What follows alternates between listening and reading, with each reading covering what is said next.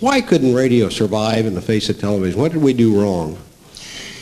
Well, uh, uh, the answer to that, I'm afraid, is uh, um, a bit uh, discouraging.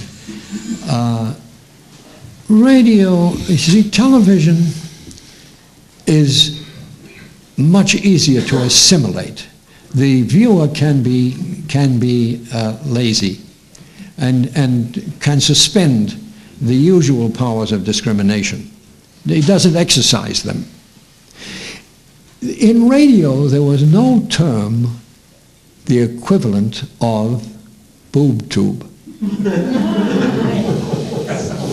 there was no term the equivalent of couch potato. And that's because the radio audience participates.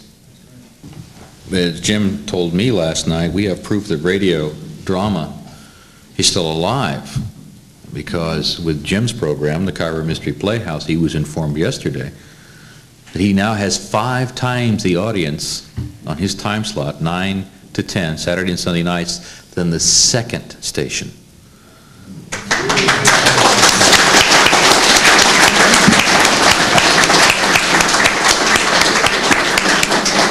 Well, I'd like to defend myself if I may. no, you see, this doesn't speak to the excellence of the programs. I wish that, that I could believe it did.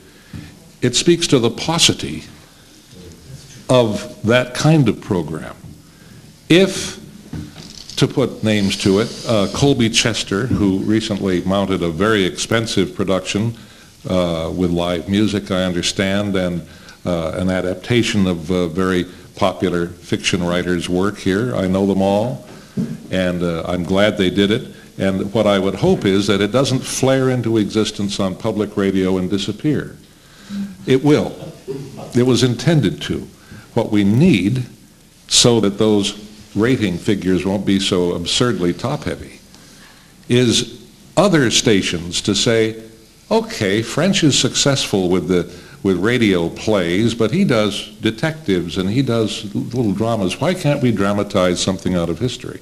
Why can't we dramatize a big event in sports? Why can't we bring back, bring the same techniques to other interests in life and let that phenomenon that we're all familiar with, that is the only reason you and I are here in this room, the phenomenon of the mind's eye, the theater of the mind, imagination, whatever you want to call it, uh, let it be stimulated and sparked again, and it's inevitable that it will succeed. There is no way it cannot succeed because it's part of our physiology. It's built into us to be able to take sounds and make pictures without worrying about the millimeter of the film or high, dent, high whatever it's called, HD TV, hot dog TV.